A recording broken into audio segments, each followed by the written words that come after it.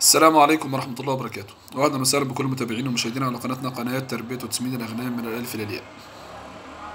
النهاردة موضوع حلقتنا سؤال بيتكرر كتير. ومن كتر تكراره حبيت أعمله في فيديو مخصوص عشان أي حد يسأله هنوجهه مباشرة للفيديو.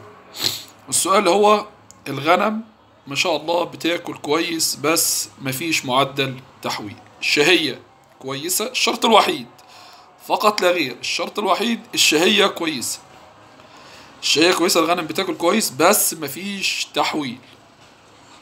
من خلال الفيديو النهاردة إن شاء الله هنقول لك أهم الأسباب وكل سبب بالتفصيل. إزاي تعرفه؟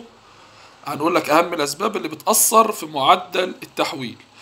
وكل سبب بالتفصيل إزاي تعرفه؟ وإزاي تحله وتتجنب حدوثه. بس طبعا عشان نبقى كلامنا واضح على آه، منظومة معينة يعني. هنفترض إن أنت ما عندكش أي خبرة في شراء الأغنام من ناحية الجودة. هنفترض إن أنت ما عندكش أي خبرة في شراء الأغنام من ناحية الجودة. يعني أنت رحت اشتريت مجموعة غنم فقط لا غير الغنم كلها ما شاء الله شهيتها حلوة بتاكل. فقط لا غير شهيتها بتاكل.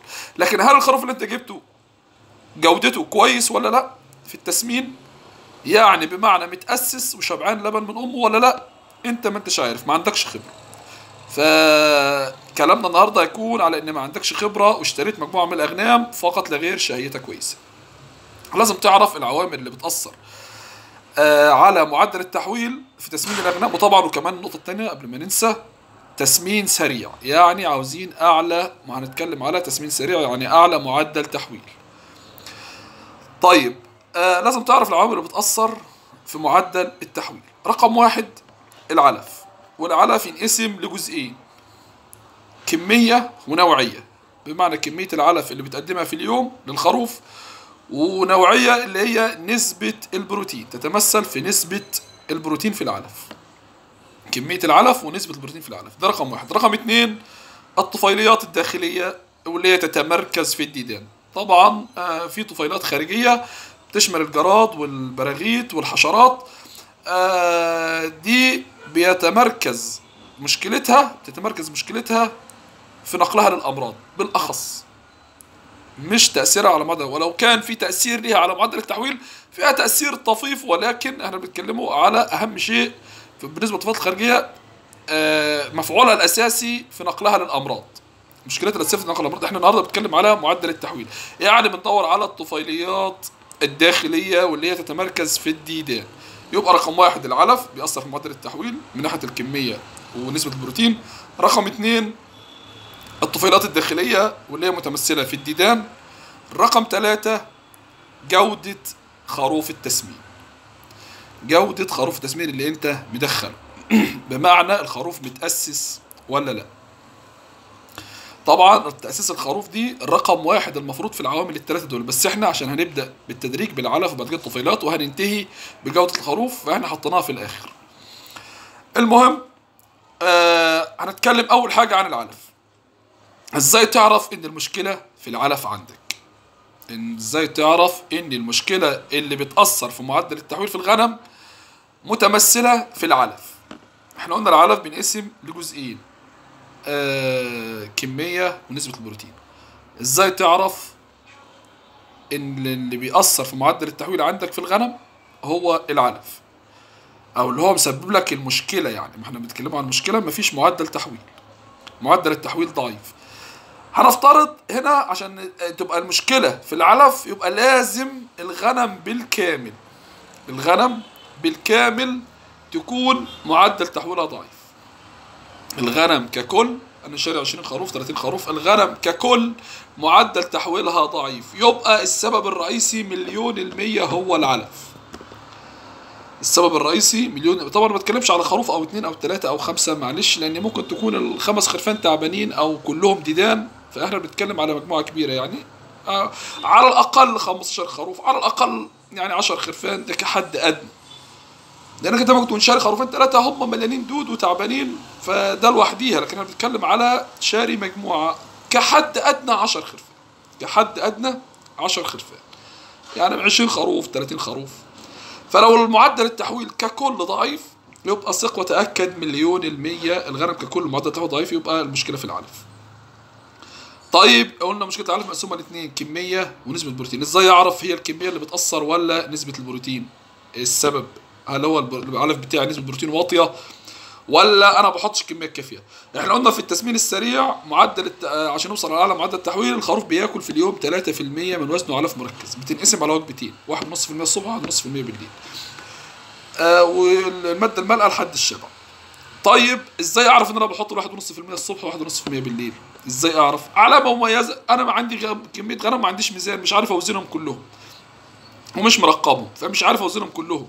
أو اوزن كل واحد يعني عشان اطلع متوسط الوزن ونحسب عليه كمية العلف. لا وما بعرفش أقدر الغنم أوزانها قد إيه. إزاي أعرف إن الغنم وصلت لل 3% علف في اليوم. العملية بسيطة جدا جدا.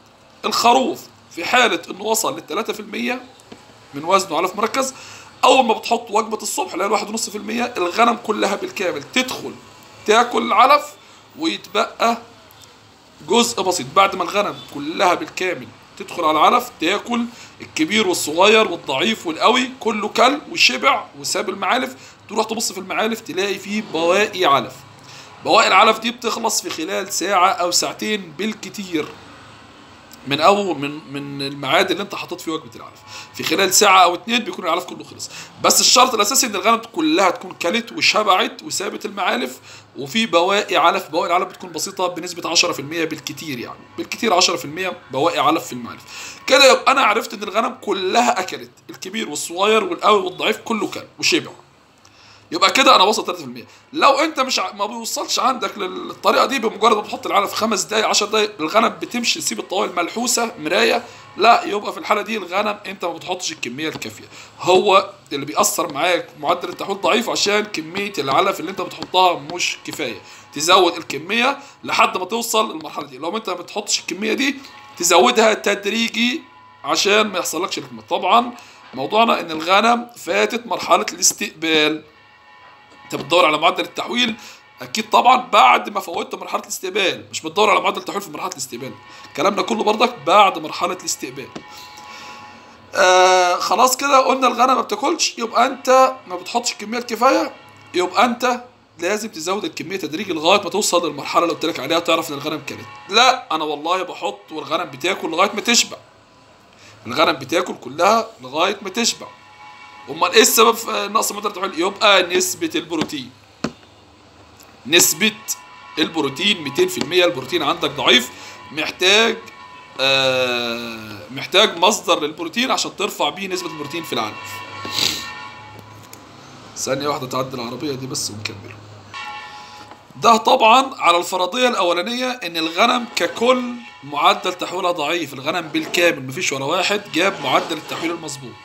على أساس الفرضية الأولانية. كده خلصنا الفرضية الغنم كلها مفيش معدل تحويل. طيب على الفرضية الثانية إن الغنم لا عندي بنسبة آه 50 60% 70% معدل تحويله كويس. أو على الأقل إحنا طبعا افترضنا إن مفيش عد... في عدم خبرة في شراء الأغنام يبقى ممكن على الأقل خالص في 30% ده نفترض إن مفيش خبرة خالص يعني نفترض إحنا افترضنا من الأول إن مفيش خبرة في شراء الأغنام. يبقى الحالة الثانية الفرضية الثانية إن معدل التحويل مثلا معايا 30% من الغنم جابت معدل تحويل كويس مظبوط. 30% من الغنم جابت معدل تحويل مظبوط وبحط ال 3% مظبوط. الكمية كويسة. يبقى العلف بتاعك 100% مفيش فيه مشكلة. طالما في على الأقل 30% من الغنم جابت معدل وأنت بتحط ال 3% في اليوم مظبوط. وفي 30% من الغنم جابت معدل التحويل المظبوط يبقى العلف بتاعك 100% مفيش فيه أي مشكلة. العلف استثني جودة العلف العلف تمام. لأن في غنم كلت وجابت نسبة ال- التحويل مظبوطة يبقى العلف تمام. تبقى المشكلة في إيه؟ نرجع للطفيليات. المشكلة هتكون في الطفيليات. هتقول لي أنا والله أول ما جبت الغنم اديتها إبرة الديدان واديتها الشربة وعدتها بعد 20 يوم وفي جزء من الغنم حول معايا والجزء التاني لا. بتختار بتشوف الجزء الكمية اللي ما عملتش معدل تحويل اللي هي معدل تحويلها ضعيف.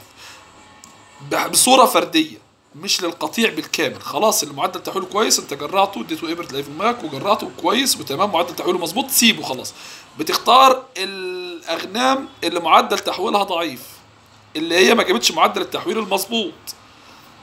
وبندخل على بن بنديها عفوا بنديها جرعة كمان من الديدان أدوية الديدان اللي هي إبرة الايفرمكتين والشربه للحالات الفردية بس اللي ما جابتش معدل التحويل.